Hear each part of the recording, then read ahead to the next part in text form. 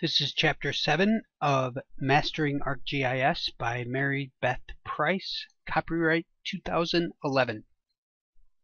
Geoprocessing and Map Overlay. Extraction functions overlay with attributes. What is overlay? Spatial joins are not always good a good solution to a problem. The features don't always fall neatly inside others. An overlay provides a way to split features so that there is always a one-to-one -one correspondence. Some problems with spatial joins. Gather statistics on the total length of roads in each land use category. We want to associate the land use type with the road, an inside spatial join problem. However, the road does not stop at the land use boundary. A summarized join won't work with categorical data.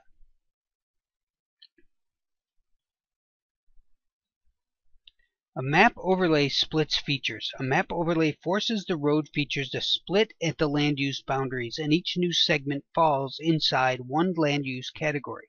The tables can now be joined, providing a basis for calculating total lengths, total road lengths in each land use category.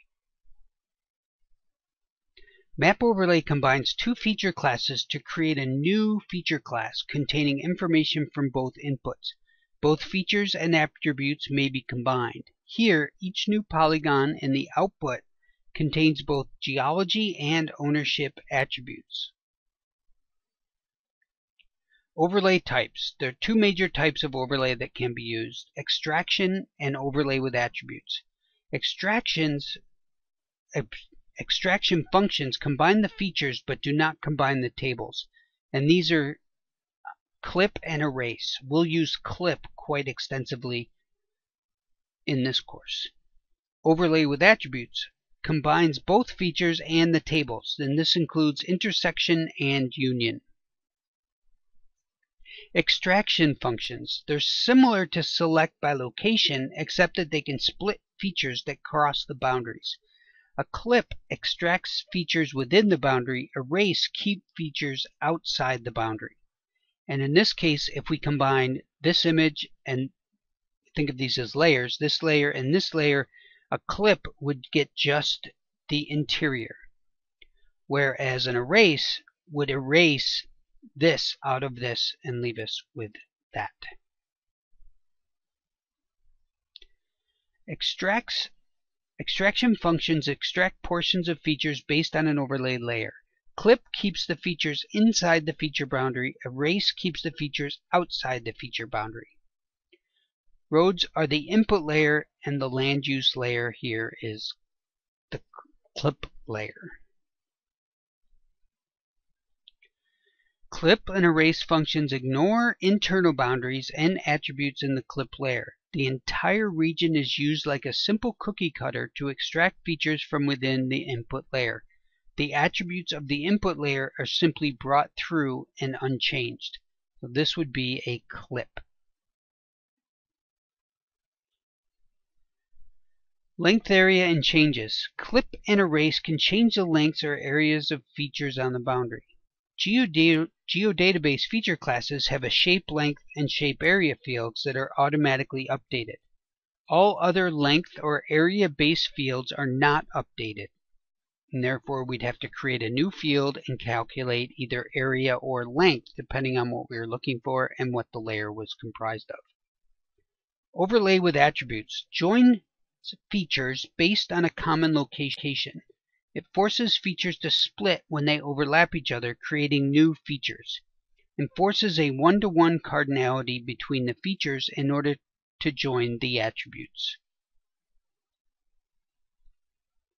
Types of overlay. A union combines and keeps all features. An intersect combines features and keeps what is common to both. So let's go with the intersect. This combines features and keeps what is common to both of them. In the union, it combines and keeps all features. Steps to an overlay. Combine features spatially, producing all possible new features. Combine the attributes table, bringing original values from each table and assigning to each new feature. New spatial data set is created with features and the attribute table. as this image below depicts. Points and polygons attaches land use polygon attributes to each school. For points and polygons, the overlay does the same thing as the spatial join. Lines and polygons. use intersect to associate the land use category with each road, a sum to give total length, and then use sum to give the total length of each land use. Polygons and polygons combine spatial features by producing all possible polygons.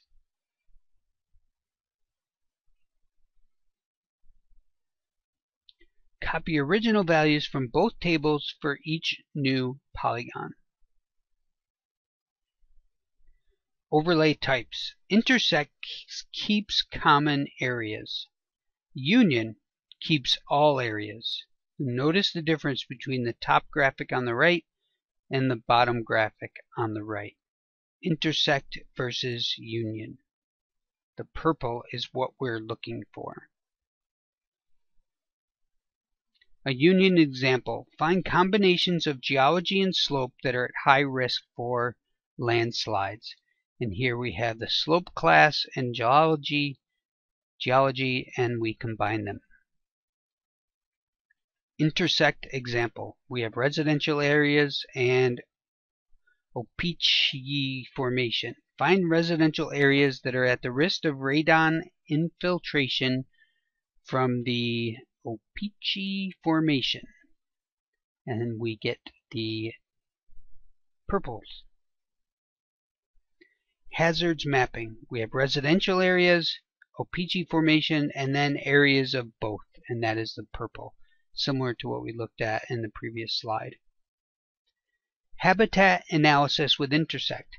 You use queries to isolate features from of interest from the input layers and the intersect selection layers to find the common areas. And in this case, we're intersecting the elevation range, the limestone, and the dense conifer, coming up with the snail habitat. Output geometry choices. Intersecting polygons, you may choose polygons, lines, or points.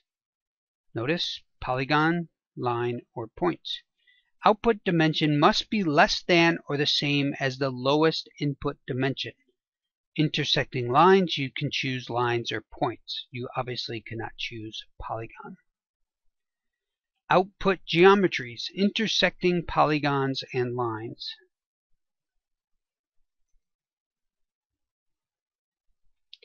Overlay operation summary. And this is a good slide to maybe take a screen catcher of. Attributes are not joined in a clip and an erase. Attributes are joined in the intersect and the union, and it's nice to have all four of these on the same page. Other analysis functions, dissolve, buffer, and append and merge. Dissolving, dissolves lines on a street name. In this case, we're dissolving a whole bunch of Main Street line segments into just one Main Street. And the bottom, we're dissolving polygons based on a habitat class, or all the B's are going to join together to just be one B polygon. And of course, the C's are dissolved. So we're dissolving the lines. Think of erasing those lines. Dissolving eliminates all of the attributes in the table except the dissolved one. However, you can choose to summarize the other attributes, the average crown cover percent, and then sum acres. Buffering, one of the easiest to comprehend and to do, it constructs a polygon area within a specified distance of features. Here we have two buffers around a point and here we have a buffer around a line, one buffer. And these are actually dissolved. They are not individual buffers. Append. This function has many caveats and issues. Please read the help before attempting for the first time. Append places features from one feature class into an existing feature class of the same type. Unlike Union, it does not attempt to split or change features. The features are simply brought in. If they overlap, you'll have double features, which is a problem. To bring attributes with the features, the attribute tables of the two input layers should match exactly. I have not found a use for append ever. Merge, very popular tool, combines two feature classes of the same type into a new combined feature class. It does not attempt to split or change the features. Overlaps are permitted. You can use the field map option to control which input fields are included in the output feature class. The attribute tables can be different. This function also has many caveats and issues. Read the help before attempting it, and there is tool help on every one of these tools. Efficient overlay. Overlay is time and memory intensive. Minimize the number of features. Dissolve vegetation before intersecting with other layers. Slivers. These are tiny polygons created during geoprocessing and the result of slight differences in the boundaries. They can build up as a result of multiple operations, and they can become a nuisance for some applications most of the time you deal with your slivers. Tolerance can be used to reduce the problems with your slivers. They're tricky to set and they're no good if they're too small and they'll degrade accuracy if they're too large. It affects the output layer only, not the input layer. I don't think we have an issue with slivers in any of our labs. Geoprocessing. We won't get into this uh, in this course most likely, but you may in a different course. Executing analysis functions and tools. Stringing together analysis functions to achieve a result. Geoprocessing environment. Familiar ways to execute functions using menus and toolbars, toolbars in addition to our toolbox. We'll use environmental settings quite often and there are new ways to execute functions using a command line, creating new tools with Model Builder. So instead of using these tools that are provided, you create a new tool and you will also write scripts. Menus and toolbars. They provide quick access to many common functions. They're organized by topic and you may turn them on and off as needed as indicated over on this graphic. There are a lot more. You can turn on and off these toolbars. They're customizable and you'll see a plethora of menus. ArcToolbox. There's hundreds of functions organized into tool sets. We'll examine these. You've probably already examined many of them in class. You can expand them by purchasing extensions in your own workplace. Here we have all of them, or nearly all of them. They run in ArcMap or ArcCatalog. Some work better in one or the other, and you'll get used to which that is. Many functions in the toolbox are not accessible from the menus and toolbars. You need to get into map or into toolbox to get to these functions. And again, you can create custom tool sets with your favorite tools and create your own tools. Environment settings, these are each a drop down to get you more information. They affect the output of tools and commands. We will need to use environment settings in this course. You set it at an application level or when running a specific tool. Application level settings are saved with the map documents so that if you go back to that map, they're already saved. If you do it in a tool, it is not saved. How do we set these? You go into either environments or you can go into a tool and click environments. These are application level settings and it affects all the tools and menus. If it, you're in a specific tool such as intersect, it's only one tool that you're dealing with. Useful setting. Current and Scratch workspace output coordinate systems, and processing tolerances. Experiment with these on your own. In this course, I will not touch on too much the current and Scratch workspace. And there, the reasoning behind that is we won't be using geodatabases for the most part. We'll get to that in 312 and 412. X and Y tolerance. Feature class property is set at the time it is created. A minimum allowed distance between two vertices. Used to cluster nearby vertices. During geometry operations such as clip, intersect, etc. The default setting is intended to preserve accuracy. We won't bother with XY tolerance in our labs. Using the tolerances, I'm going to skip effective tolerances. Just you can quickly pause and look at this slide if you'd like. Coordinate systems and geoprocessing. Geoprocessing often involves areas or lengths, so using a projected coordinate system is usually required for best results. 99% of the time we'll use projected coordinate systems. If not otherwise defined, the output coordinate system defaults to the first data set input to the tool. Reprojections will be done during processing if needed, but is better to control if they are done. And that means we need to keep all of our layers in the same coordinate system. And same with our data, for the most part.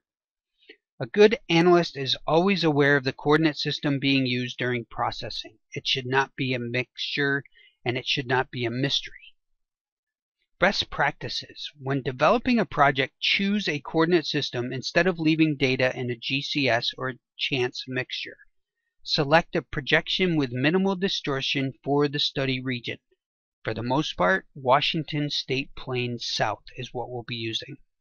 Convert all data sets to the same coordinate system. See Chapter 11 before doing any analysis. That is exactly what we'll be doing in this course.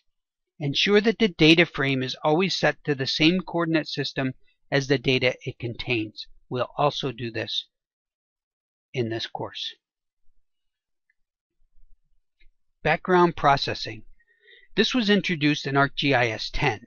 You continue working while a tool runs. It is on by default. We will have problems with the tools, so in one of our labs we are going to turn off background processing. And we will start to see these dialog boxes versus these. If I don't bring it up in class, please remind me that your computers are set for background and we're going to turn it off. It is uh, turned off permanently on my machine. More geoprocessing options. Under geoprocessing, your recently used tools will show up, which means you can get them get to them much more quickly. And then to turn off background processing, it would be great if you could do this on your own after watching this slideshow or even right now. Go to geoprocessing options and background processing uncheck that box like it is shown there. Using a tool, and this is very, very important. To get to the tool, double click on it. So we double click on intersect and the tool pops up. There's multiple areas for input. An important button is the show help. This says hide help right now because help is being shown. It almost always is beneficial to have the help being shown on this area because it gives you an easy visual about your, what you're about to do. In addition, I will be requiring you to click on Tool Help to go deep into the Tool Help menu to find out how to use the tool most efficiently. So be aware for Tool Help and always have click on Show Help if it says Show Help and leave it saying Hide Help because the help is shown right over here. Searching for tools. You may search in the search window and find them based on the name or keyword, and then there's even a button that says Show Me. You can hover for the description, click to open the tool, and then see where the tool actually exists to help you find it later.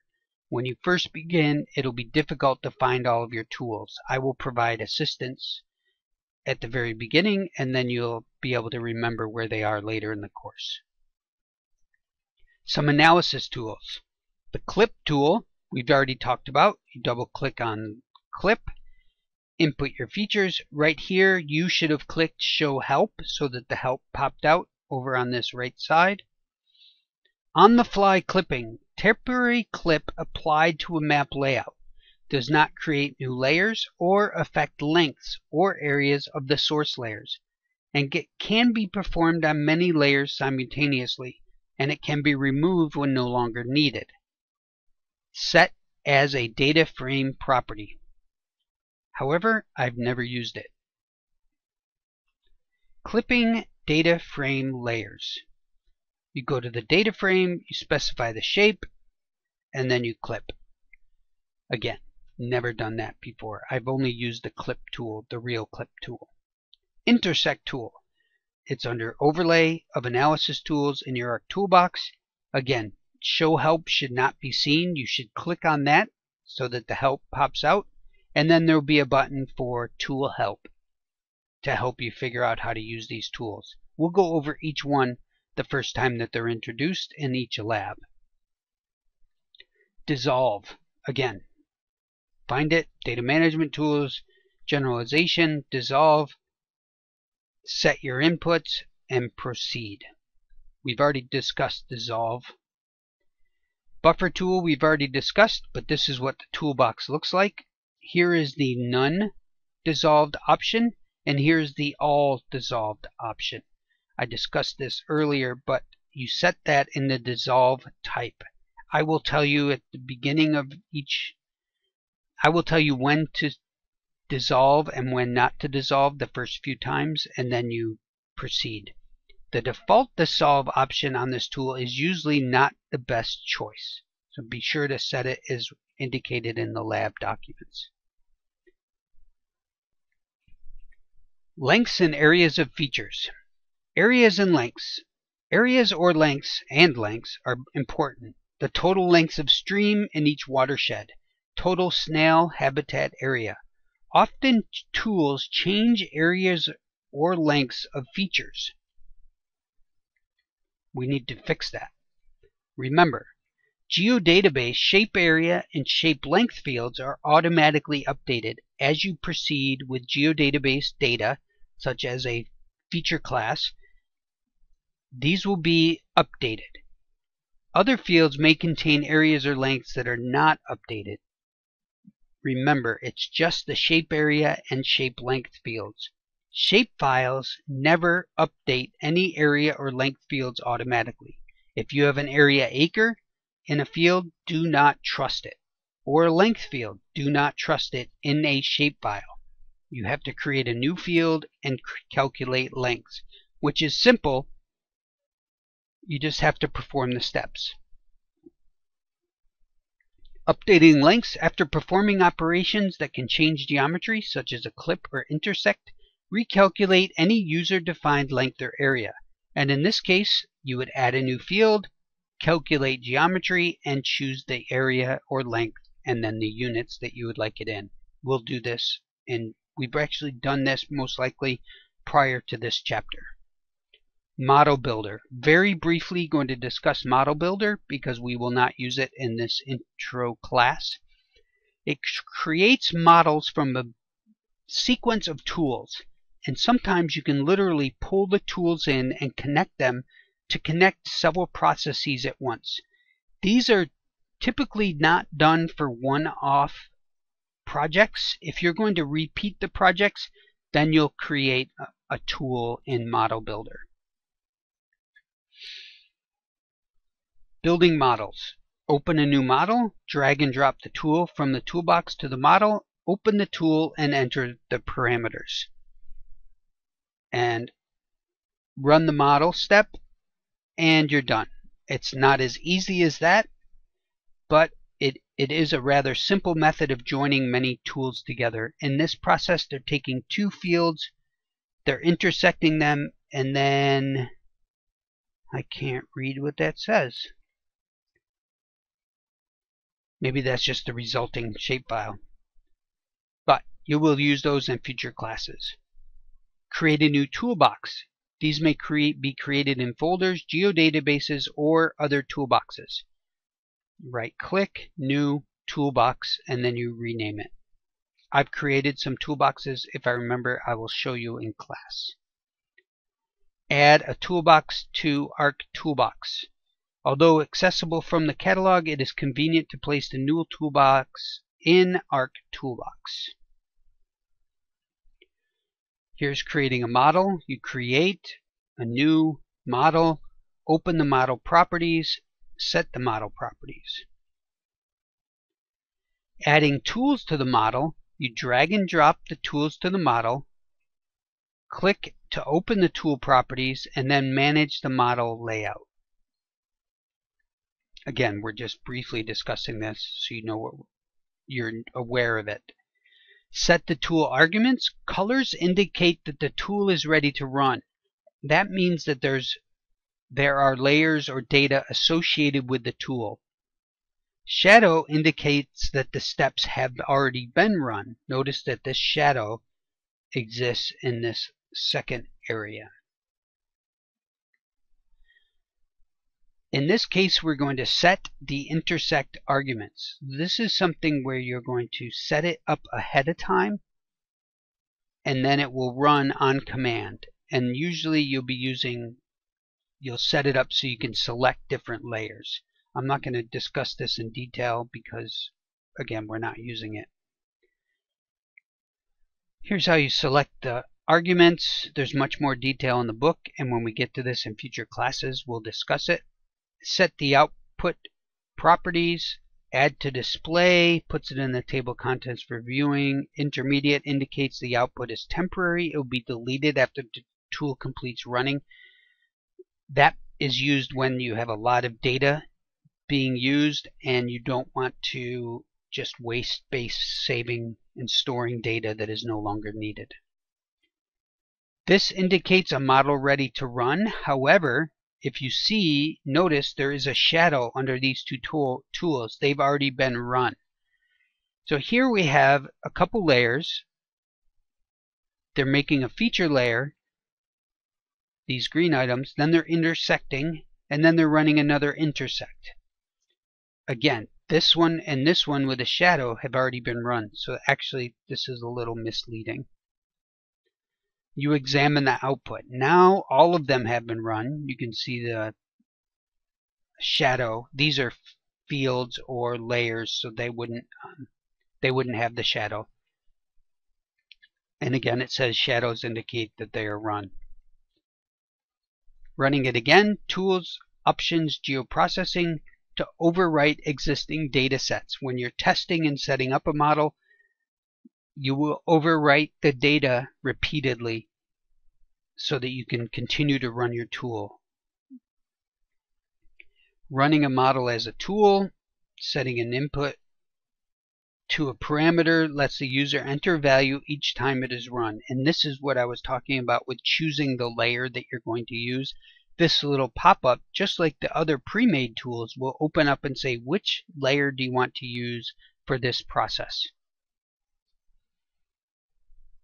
Parameters from tool arguments, you will set these by right clicking for the most part and going to the properties or parameters. Here's it says model parameter.